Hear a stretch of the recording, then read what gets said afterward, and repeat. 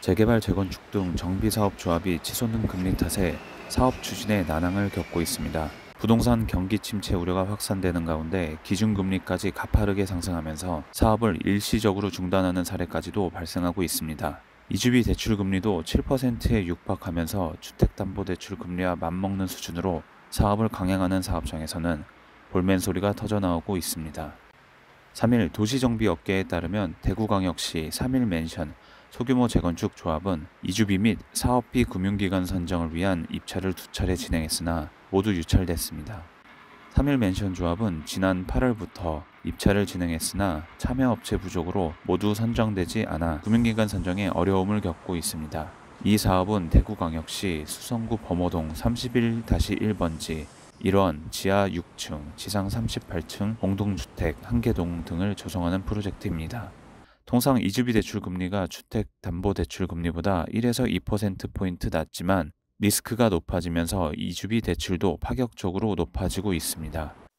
대구광역시 내당 내서 주택 재건축 정비 사업은 올해 1월 사업비 및 이주비 대출은행 선정을 위한 공고를 냈지만 현재까지 금융기관을 선정하지 못하고 있습니다. 부동산 경기 침체 우려에 금융기관의 참여도 부진할 뿐만 아니라 조합이 감당할 수 없는 수준까지 금리가 치솟았기 때문입니다.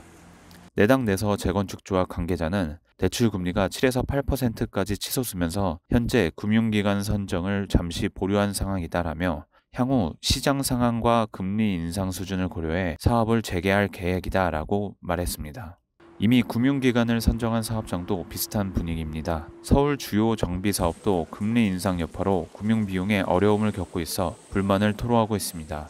가련 제1구역 재개발조합은 지난 3월 이주비 대출을 위한 금융기관을 선정했으나 대출금리만 5%를 넘어가면서 당악한 기색이 역력합니다. 가련 제1구역 재개발조합 관계자는 5% 중반을 넘어가는 금리 때문에 사업에 어려움을 겪고 있다라며 정비 사업은 분양 전까지 수익이 발생하지도 않고 융자받아 진행해야 하기 때문에 금리가 많이 오른 상황에서는 사업을 추진하기에 힘들 수밖에 없다라고 토로했습니다. 지방 소규모 정비 사업장의 분위기는 더욱 심각합니다.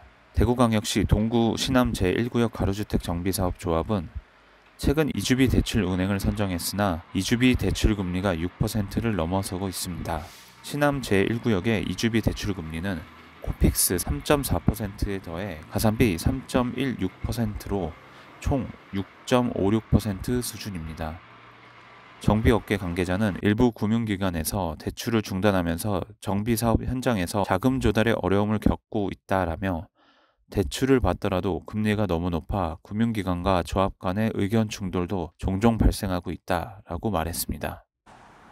지금까지 이 대한경제 최중현이었습니다.